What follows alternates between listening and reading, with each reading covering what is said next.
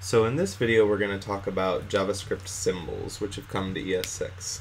Um, although they're one of the easiest APIs to use, they're one of, I think, the hardest to understand. Um, so before we go too far in depth, I'll make a file called symbol.js.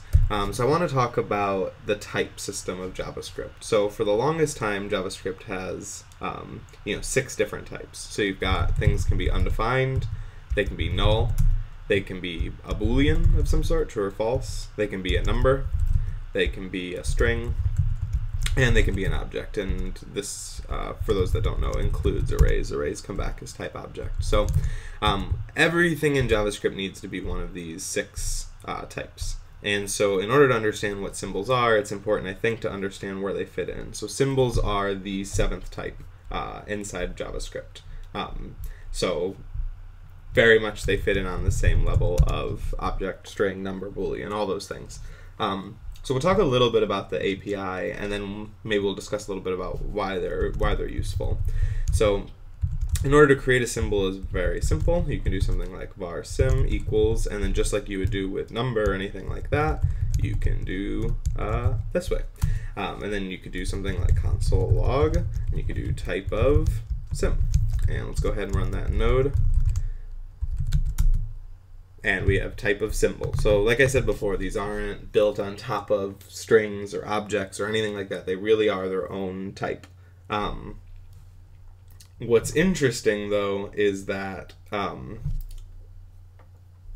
let's I guess let, let, me show an example of it because um, maybe that'll make it a little bit more clear. So let's go back into here, um, some of the nuances of symbols. So I'm going to go ahead and delete this, and I'm going to do a console log. Let's do symbol of foo is strictly equal to symbol of foo.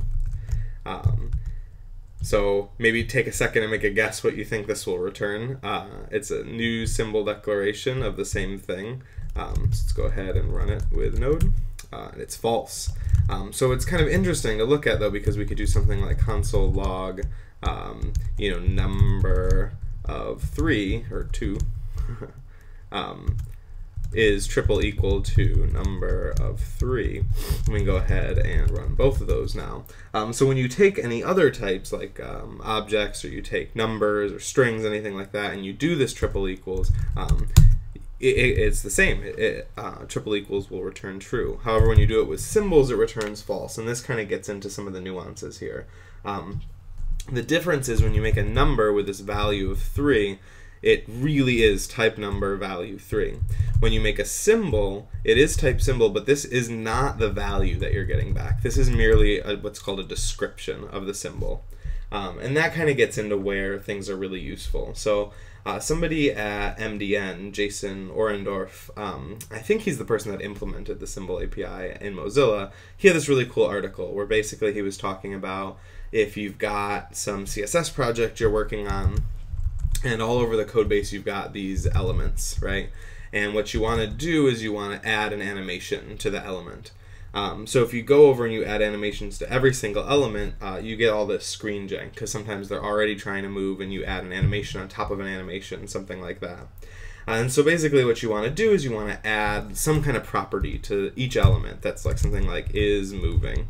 Uh, and that should come back either true or false, right? Just like a boolean. Uh, the problem there, especially if you're if these elements are created by somebody else's API, um, that you might run into these naming collisions, right? Like it already might have an is moving. Maybe it's a jQuery element, or maybe the CSS animation library you're using. Um, and so it's kind of bad practice to add your own keys, like is moving, onto somebody else's element or somebody else's object, right? So one thing that people do pretty often um, is they'll make some kind of like random string generator or something like that, right?